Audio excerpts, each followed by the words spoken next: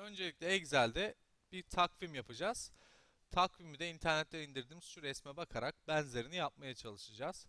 Bu resimdeki satır ve sütun sayılarına baktığımız zaman Excel'de oluşturacağımız takvim örneği bu şekilde. Yani yaklaşık 8 satıra 7 sütundan oluşuyor.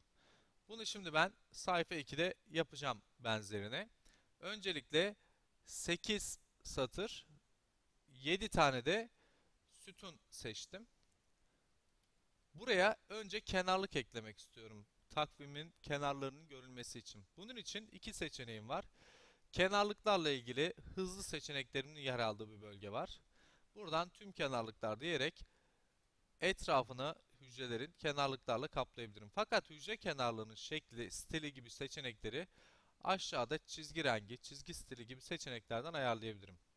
Tekrar bu bölgeyi seçip tekrar uyguladığımda o şekle büründüğünü göreceksiniz. Ya da ikinci bir yöntem olarak seçtiğim hücrelerin kenarlarını yok ediyorum.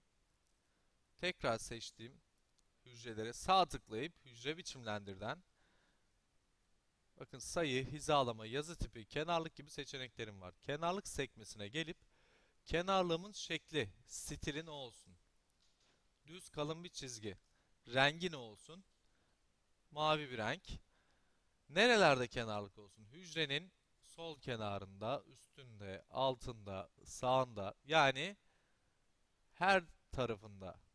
Yok dersem kenarlık yok. Çerçeve dersem dış kenarlık. İç dersem iç çerçeveden bahsediyor olurum. Bu şekilde kenarlık uygulamak istediğinizde önce stilini, rengini seçtikten sonra çerçeve ya da iç çerçeve diyerek her tarafını uygulayabiliyorsunuz. İsterseniz üzerlerine çizgi atacak şekilde de kenarlıklar ekleyebiliyorsunuz. Kenardaki butonlara tıklayıp o kenarlıkları tekrar kaldırıp ekleyebilirsiniz. Tamam, kenarlıklarım bu şekilde olacak deyip tamama bastığınızda hücrelerinizin etrafında bu tarz kenarlıklar oluştuğunu göreceksiniz. Bunun yanı sıra takvim yapılırken genelde sütun genişlikleri ve satır yükseklikleri aynıdır. Bunun için A sütunundan başlayarak mouse'u tıkladığım yere dikkat edin. A sütununu seçtim. Sol tuşa basılı tutarak sağa doğru çekiyorum. G sütununa kadar yani 7 sütunu birden seçmiş oldum. Daha sonra aralarındaki mesafeyi daraltıyorum. Bu sayede hücreleri biraz daha küçültmüş olacağım. Ama tam olarak daraltmak istersem şu anda genişlik diye bir ifade görüldü. 5.29, 4.86 gibi şeyler yazıyor.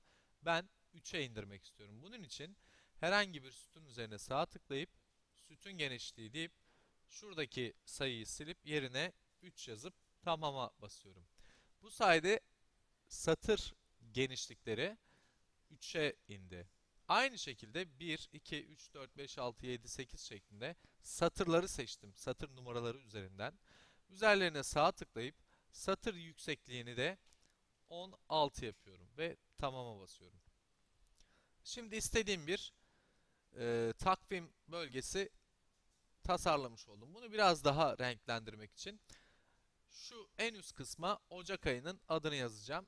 Üstteki satırdaki hücreleri seçtim. Ardından birleştirmek ve ortalamak istiyorum. Hizalama bölümünde girişte birleştir ve ortala seçeneği var. Buna tıklıyorum. Bu sayede içerisine Ocak ibaresini yazdığımda tek bir hücreymiş gibi davranıyor. Aynı şekilde hemen altına pazartesi, salı gibi ibareler yazacağım. PZT yazıp bu özel bir liste olduğu için bir hücreyi tutup çekmeniz yeterli. Sağa doğru çekiyorum. Sağ alt köşesinden tutarak. Pazartesiden pazara kadar bütün günler yazılmış oluyor. Daha sonra bu satırı seçip biraz daha tabi e, yazılar sığmadığı için biraz daha yazı boyutunu küçültüyorum. 9 puntoya aldım.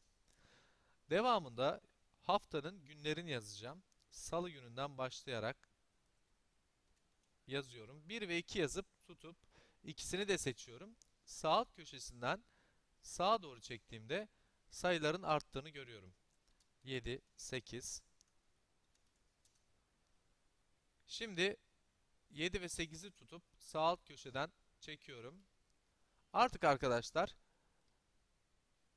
dikey seçip aşağı doğru diğer sayıları da doldurabilirim. Ocak ayı 31 çekiyordu. Dolayısıyla 31'e kadar gelip bırakıyorum. Diğer günleri seçip otomatik olarak aradaki fark 7 olduğu için 7'şer gün artırarak yazıyor hücrelere. Genelde hafta sonu da kırmızı renkte falan yapılır. Ben de o renkte yapıyorum. Hafta sonunun yazı rengini, pardon, kırmızı yapıyorum. Ocak ayı bölümünü de arka planı mavi, yazı rengi beyaz olacak şekilde ve kalın olacak şekilde değiştiriyorum. Burada istediğiniz gibi bölgeleri değiştirebilirsiniz. Ee, en alt bölgede genelde hücre kenarlığı yok ya da birleştirilmiş durumda. Şöyle yapılabilir. Kişi keyfine göre değiştirebilir tasarımı. Hadi ben orayı değiştirmeyeyim. Bir geri alayım Ctrl Z ile. Bu yapıyı kullanacağım ben. Bu yapıyı Ocak ayı yazan yerden sol tuşa basılı tutarak seçiyorum. Sağ tıklayıp kopyalayacağım. Tabi seçtikten sonra bir de ortalamalarını da yapayım. Hem yatay hem dikey olarak yazıları ve hücrenin içini ortaladım. Daha sonra seçtim. Sağ tıklayıp kopyaladıktan sonra Excel'de yapıştırma biraz farklıdır. Hemen yanına küçük bir aralık bırakıp I harfinden başlayarak yapıştıracağım. Sağ tıklayıp yapıştır derken sadece değerlerin yapıştığını, biçimlerin yapıştığını görüyorsunuz ama sütun genişliklerinin yapışmadığını görüyorum. Yapıştır dedim. Hala seçiliyken sağ tıklayıp özel yapıştır seçeneğine gidiyorum. Özel yapıştırda birden farklı seçenek var bakın. Bayağı bir şey yapıştırabiliyorsunuz. Kaynak sütun genişliğini koru diyerek de yapıştırabilirim. Aynı şekilde yanına yine bir ay daha yapıştıracağım. Özel yapıştıra gelip tıklayıp sütun genişliklerini koruyarak yapıştırsın. Sütun genişliklerini yapıştırdı bakın. Sağ tıklayıp normal değerleri yapıştırsın diyorum. Dolayısıyla hem sütun genişliğini hem de değerleri aynı hücrelerin içine yapıştırmış oldu. Ocak, Şubat ve Mart aylarını bu şekilde doldurdum diyelim. Bundan sonrası daha da kolay. Ocak, Şubat ve Mart aylarını seçip sağ tıklayıp tekrar kopyalıyorum. Birer satır boşluk bırakarak yapıştırıyorum. Birer satır boşluk bırakıp yapıştırıyorum. Son olarak Ekim, Kasım ve Aralık'ı yapıştırıyorum. Bundan sonra yapacağım şey sayıları değiştirmek ve ayların isimlerini değiştirmek. Mart, Nisan, Mayıs, Haziran. Bu şekilde tablom, tablomu ayarlayacağım. Ee, dosyadan yazdırma seçeneklerine baktığınızda ayarladığınız takvim aylarının bir A4 sayfasına sığıp sığmadığını görebilirsiniz. Sol tarafta pardon sağ alt köşede gördüğünüz kenar boşluklarını göster ya da gösterme seçeneği kenardaki boşlukları ayarlamanızı sağlıyor.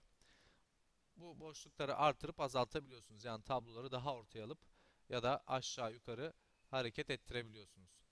Bu sayede bir A4 sayfasına sığdığını da görüyorum. Zaten ona göre bir ayar yapmıştık. Giriş bölümüne dönüp değiştirmek istediğim yerleri tekrar değiştirebilirim istersem. İstersem her bir tabloyu mesela Ocak ayı mavi iken Şubat ayı daha farklı bir şekil olsun deyip buraya dikkat edin. Hazır tablo olarak biçimlendir seçeneği var. Girişte stiller bölümünde. Stilleri Word'den de hatırlayacaksınız. Hazır stillerimiz vardı. Buradan farklı bir tablo şekli seçebilirim. Seçtiğim aralık tabi ona göre bir şekil alacak. Ben burada hazır bir şeyler e, yapıştırdığım için bir şeyler değişiyor. Burada hazır stillerimde bayağı farklı seçenekler var. Bunu şöyle kabaca göstereceğim boş bir yerde. Seçtiğim bölgeye hazır bir stil uygulamak için o bölgeyi seçip ilgili e, değeri uyguluyorum. Şurada sütun 1, sütun 2 yazan bölümlerde e, filtre uygulama, sıralama var. Bunu daha sonra göreceğiz. Şu okların gelme nedeni de bu. Hazır stillerimde mevcutmuş yani. Ben kendim yarattım, renklendirdim tabloyu ama hazır şekiller de var. Onları da kullanabilirsiniz. Bunun yanı sıra daha önce ben Ocak ayının yanına resim falan da eklemiştim. Bunun için Word'de de kullandığımız ekleden resim ibaresini ya da küçük resim ibaresini kullanabilirim. Resme tıklayıp istediğim bir resmi ekleyip daha sonra resmi küçültüyorum. O satırı biraz daha genişletip resmi istediğim yere taşıyorum. Bu sayede takvimimde resimler de olmuş oluyor. İstersem bu resimleri hatırlarsanız resim araçlarından özel biçimler uygulayarak şekillendirebilirim. Bunları daha önce yapmıştık hatırlarsanız.